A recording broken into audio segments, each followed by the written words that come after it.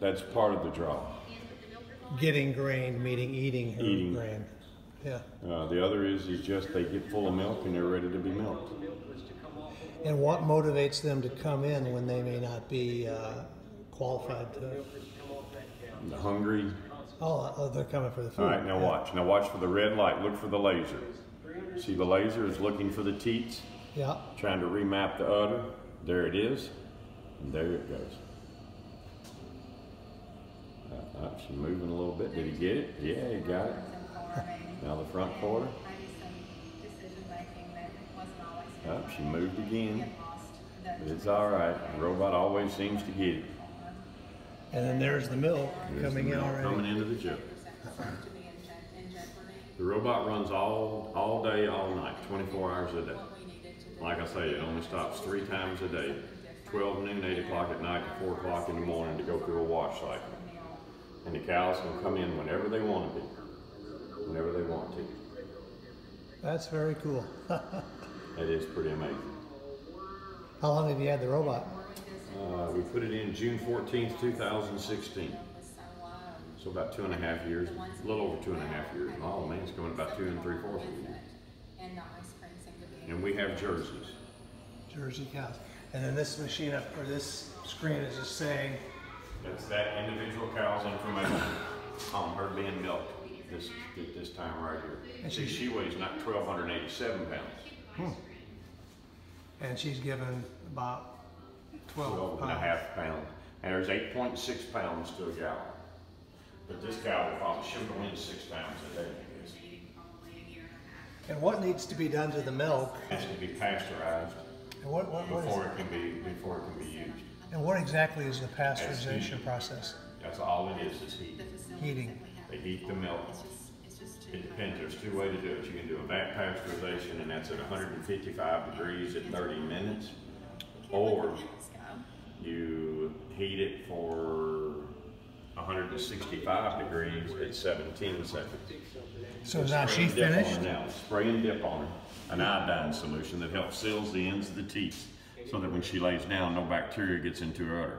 Front gate opens, she walks out, front gate closes, back gate opens. Who's next? So she's pretty quick. Oh, no, she's a fresh cow.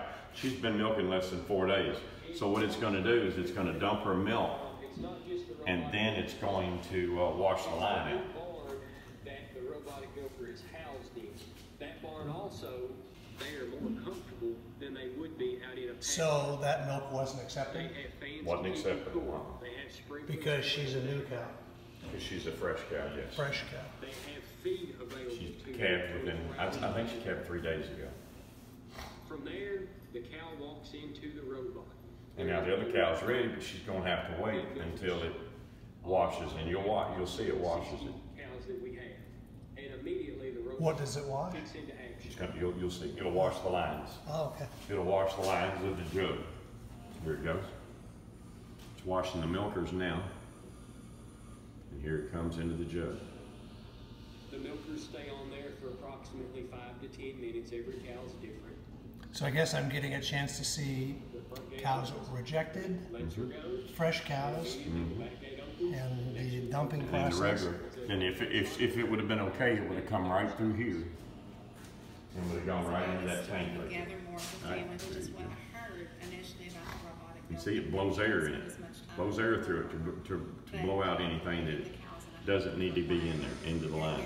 Your family better quality of life, and that's exactly what's And happening. there's the fourth cord that it's blowing.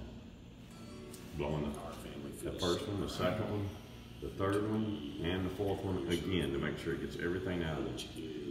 product that you can find anywhere. Uh, And that's washing from the top. My dad, my Yeah, it's grandpa, nice and my clean.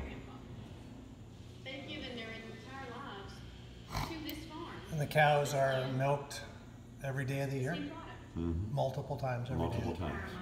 Again, it depends on how much cow is, each cow is milking for it to determine how many times she can be milked. us, I think, just to keep Yes, they're milked every, when we milk the cows in the old barn, we milk them every day, twice a day, three hundred and Has sixty-five provided days a year. with a- a life. Now the robot, we still get milk, the cows still get milked every day. The average is about three point four milkings per cow per day is what we're averaging right Years now. ago as a herdsman.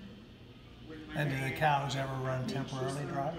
Oh, we'll, when, when the cows are, we'll breed them back so that they'll carry a calf. And when they're seven months pregnant, we'll turn them dry. We'll put them out in the field out there and then out of the way they have, they get two months off. And then they take it easy and then when they have their babies again, then we bring them back over and start milking. Kind of like maternity leave.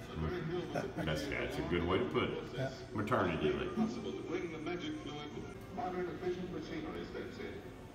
These mechanical milkers, for example, are both cleaner and faster than the old milking by hand process. Is the robot pretty reliable? It's very reliable. Let me check out here. I had a guy coming to get a calf. Just be right.